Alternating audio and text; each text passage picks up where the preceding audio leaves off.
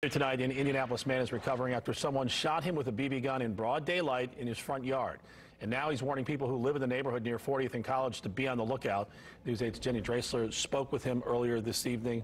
How's he doing tonight, Jenny? Well, Mike, obviously he's still in a lot of pain. Good news, though, he will be okay. But nonetheless, he's worried with whoever did this still on the loose tonight that if they strike again, the next victim may not be as lucky as he was.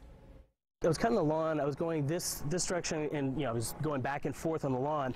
And the first one hit, you know, hit me right behind the knee. Jay Swan says he thought the pain he felt Tuesday afternoon was from a rock that had kicked up while mowing his lawn near 40th and College. But the hits kept on coming, and they weren't rocks; they were shots from a BB gun. I went back, came back again, and went and it got me right above my wallet. That wasn't the end of it. Swan says the last hit was the one that hurt the most, and he's left with the marks to prove it. It hurt. It, it caught my it caught my attention. That's the one. That's when I called the cops. They were here.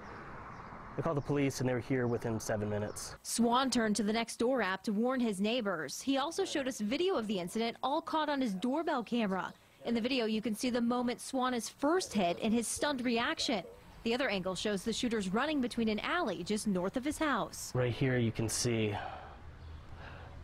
an individual or two go running in between. Not only was Swan hit, but he says the mirror on his neighbor's car and another neighbor's window were shot at too. Swan hopes whoever did this is caught before someone gets seriously hurt. If I didn't have my glasses on um, and it hit anywhere, you know, on my eyes, you, could, you could blind somebody with that. I mean, you see what the impact is on, on skin on your eye. I mean, you can imagine.